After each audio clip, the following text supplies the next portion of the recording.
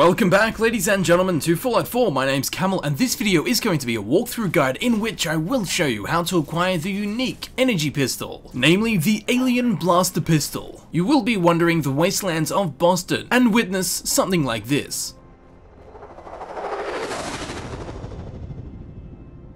Yes indeed, a crashed UFO. Now there is no specific location or area to trigger this event as you saw my character wasn't even at a location. I was walking along the road in the middle of nowhere. This event only has a chance of occurring after your character hits level 20 and the chances of it occurring are also affected by your character's luck level. So once we see this event we want to go to the crashed UFO site. As we can see on the Pip-Boy map it is to the northwest of Diamond City. It is almost directly north of Vault 81 and when we get in quite close on the map, we can see that it is southeast south of the Oberland station. If you still have trouble finding the UFO crash site, just look for the flaming trees and, weirdly, the crashed UFO. Once we do arrive at the crashed UFO site, we will find splatterings of green ooze, the spattering of alien blood. If we follow the trail, we will continue to find more pools of this green alien life liquid. After a short walk to the north, these blood pools will lead us to an unmarked cave. And inside this cave, we will find the intergalactic perpetrator, who does have a radio next to them. Perhaps they're trying to phone home. Also, judging by the two empty beer bottles on the ground next to this alien, I think he was drinking and driving. Oh, how quickly the crash UFO makes so much more sense. So after giving E.T. a warm, earthly welcome, on his body we will find the unique energy pistol, the Alien Blaster Pistol. Bible. And also on his body is the ammunition we need to use this gun, the Alien Blaster rounds. The amount of rounds dropped will fluctuate, but it's always 400 plus. Now before we take a look at the Alien Blaster, I would just like to point out that I have reduced all of my character's special stats to 1, and I also have no bobblehead, magazine, or perk effects applied. With the combination of no effects and minimal stats, we will be getting all of the base stats for the Alien Blaster pistol. So the unmodded Alien Blaster pistol's base stats, it has an energy damage of 50 uses the Alien Blaster rounds, a fire rate of 100, a range of 119, an accuracy of 78, a weight of 2.5, and a value of 1,551. Although the Alien Blaster pistol is quite powerful, the Alien Blaster rounds, the ammunition it uses, are quite rare and in limited supply, which do render the Alien Blaster a rather redundant weapon. And in many players' cases, it ends up being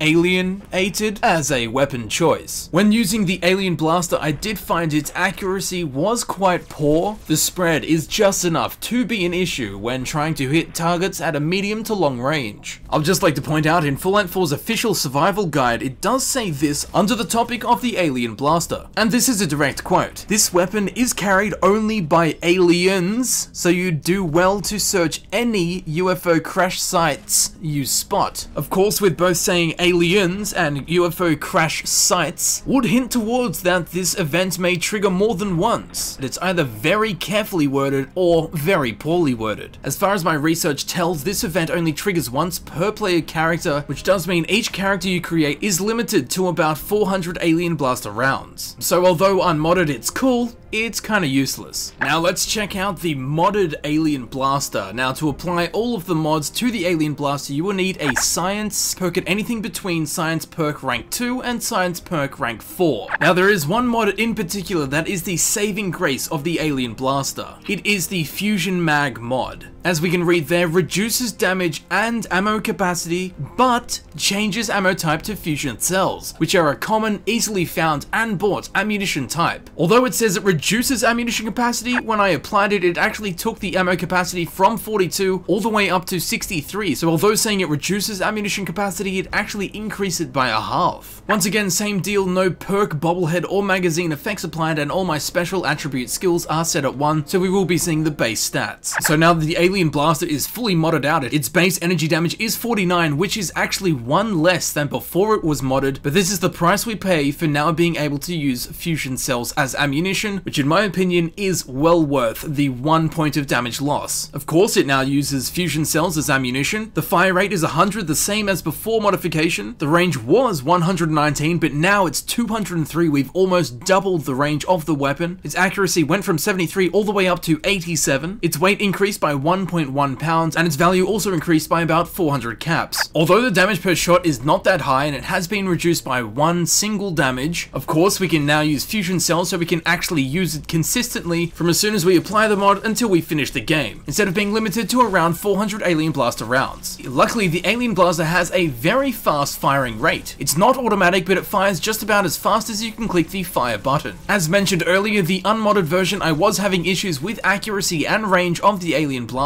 but now after applying mods, both of those have been greatly improved, and it actually does make quite a difference. I do believe that the fully modded Alien Blaster is an actual viable option as a close to medium ranged scoped sharpshooter pistol. One of the overall downsides of the Alien Blaster is the slow flight time of the projectiles. It's not instantly from your gun to the enemy, it actually flies through the air, you can see it traveling, which does make it quite ineffective outside of VATS when firing at targets that are moving from side to side. But the upside is it also doubles as an alien probe. Bend over and I'll share the secrets of the universe with you. And now that you have galactic knowledge, here's the Alien Blaster pistol in action.